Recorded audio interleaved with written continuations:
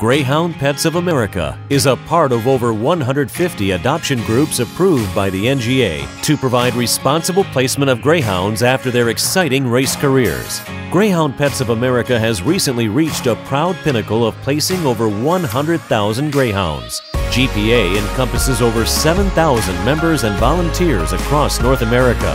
Greyhound Pets of America President Rory Goree explains his personal experiences on the racing greyhound.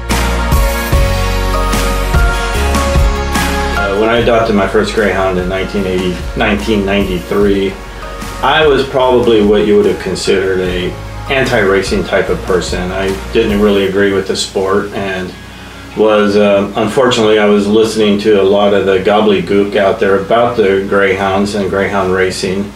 Uh, but also being an individual that likes to get out and learn for myself and get firsthand knowledge, I did so. I paid my first visit to uh, Phoenix Greyhound Park.